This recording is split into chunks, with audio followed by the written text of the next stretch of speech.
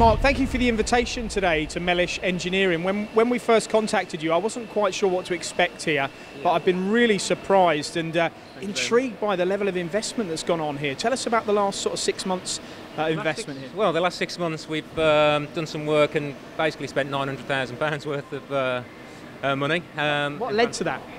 Uh, the market, market demand. Uh, we was looking for to increase our own capacity to be able to give better service to our customers. So you know, the way to do that is to be able to do, be in more control of it and be able to do more in-house. I'm sure um, people watching are thinking, well, what markets are they? Can you elaborate? Uh, top secret, I'm afraid. No, uh, mainly the subsea market. Uh, we've got an API approval, which is the American Petroleum Institute, uh, that we put in place uh, 18 months ago, and it's a real niche uh, for our sort of product on safety critical fasteners. So, of that investment, how much is in the Star machines that we see behind us here? Uh, about 50%. Uh, 50% is other customers. Uh, you know, a lower, a lower sort of price point, but you know, high volume. So these machines here, this is a brand new one we've got behind us. You also had three Star machines before you had these three. Yeah. You transitioned the business some years ago from going from manual turning into CNC. Yeah. That was a big leap, wasn't it? Yeah, it's you know it, we had to, we had to turn to, te- to technology. Um, we was looking at the market and looking at our prices. You know, losing opportunities. So we looked at machine technology rather than, you know, introducing more older older fashioned machines. So you went from kind of an eight thousand pound manual machine up to, yeah. you know, hundreds of thousands of pounds worth in CNC. Yeah. Was it the right choice? Hundred percent, hundred percent. Never look back. Um, stars, it's one of those things you get addicted to them, and um, you know the accuracy, the, the quality that comes off um, and purely the speed, it's, it's you know it's a, it's a game changer for us as a company. Uh, talk to me about the materials that you were cutting because that yeah. was one of your concerns that you'd looked at this sort of machine and you thought, is it heavy duty enough yeah. to tackle the types of materials that you machine? Yeah. Can you explain for our audience what you were worried about? Uh, the rigidity of the machine. Um, I mean, we, we again, and also also the cost. Um, with the materials that we're turning, which is Inconels and Monels, you know, cutting at very high speeds, you know, you have to be a little bit worried on whether you're going to get the product quality afterwards. So we, we did a transition really on, on we started off with a, buying a second-hand machine. Um, we had a guy called Mark Hanson who was from Star who, who kept coming in, you know, convincing us. Star were brilliant. They did some cutting trials for us. And then we took the leap from, you know, second-hand machine to new machine number one, number two, number three, and then took it from there. And have they exceeded your expectations on that front? Yeah, 100%. Yeah, Star is such a great company. Uh, the customer service, right from the sort of sales contact, um, you know, took us to customers who have got Star technology to, you know, help us convince that, you know, it's the right step to make. And with this style of machine, you would have yeah. been expecting um, a, a, certain surface finish uh, to maintain certain tolerances. Has, have they done that as well?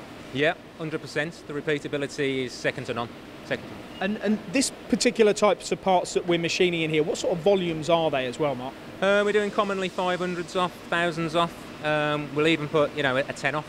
Um, you know, because the, the time saving from doing a, you know, a manual five operation compared to an operator setting the machine for two hours and getting the part off in an hour after that, you know, we, we, we're finding that's an advantage. Have you found that with these machines that you can still machine those smaller, yeah. smaller volumes? Yeah, absolutely. Yeah. Um, when you consider the, the work that has to go into sort of making a making a bolt on you know four or five machines, you know it's well worth you know an experienced setter setting it up and just making them ten parts in two or three hours. And that was a big part as well because even though you were using manual machines, you were doing two or three operations, weren't you? You've now brought it all onto one machine. Yeah. You've got the surface finish and the accuracy, but you've increased the productivity significantly as well. Yeah, absolutely. Yeah, um, we run these machines 17 hours a day um, even 24 hours a day, depending when the workload, uh, what the workload's like at the time. And often we see these machines with the three metre bar feed.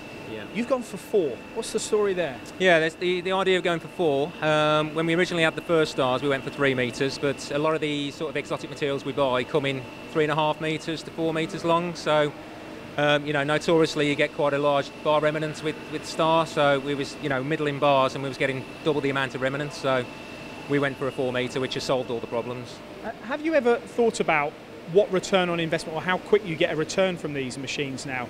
Because uh, I know initially it was yeah. a massive outlay for you. Yeah. Is it quick? Um, I'd say over two years, really. The, you know, the payback on the actual machine. I'm sitting here now with, with you know, four stars actually, you know, paid for now. So, you know, and again, you know, adjusting to the market, I can, you know, dabble with the machines without finance to go to a lesser hourly rate to try and convert more business.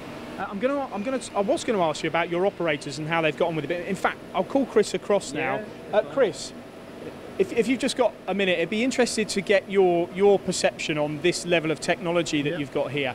What's the journey been like for you in learning how to use these Star machines? Generally, it's been really easy. Um, sort of the training that we got from Star was second to none. We, we had really good help, and even when we've had trouble um, with, with pro- programming certain jobs, we phoned them up, and they've been really helpful and supportive over the phone as well.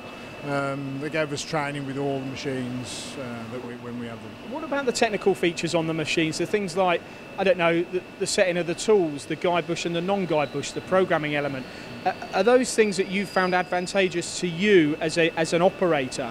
Uh, generally, yeah. I mean, they all have their benefits. Obviously, the non-guide bush and guide bush. We're putting them together and setting the job. It does make life a lot easier, especially the, JBS guide bush as well. Do, Yeah. do you use the machine in both different modes, guide bush and non-guide? Yeah, we've got uh, one machine which is non-guide bush, and the rest are all guide bush, uh, JBS guide bush machines, and they all work really well.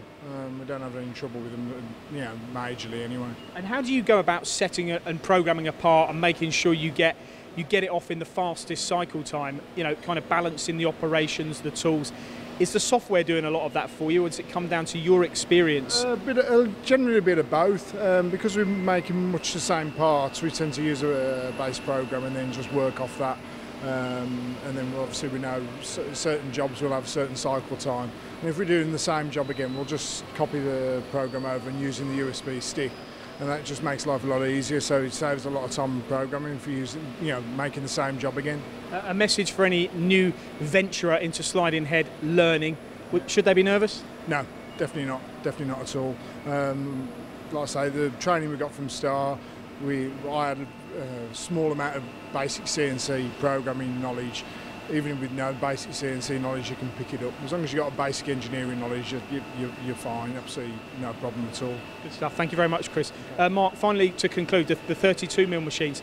Uh, these machines of your choice, just because of simply because of the bar diameter. Yep, um, anything really above 32 goes on the conventional CNCs, uh, which we've invested into this year as well. It is on the want list to have the 38, um, but you know that will come next year, I think. Brilliant. Uh, final few words for you to summary uh, your, your your journey here and your relationship with Star GB from the UK. Yeah, um, fantastic company. Steve Tottey runs a, a really superb company. Um, Alistair and even Kath. I've got to mention Kath. She's super on the spares. Good stuff. Thank you very much, Mark. Okay, thank you.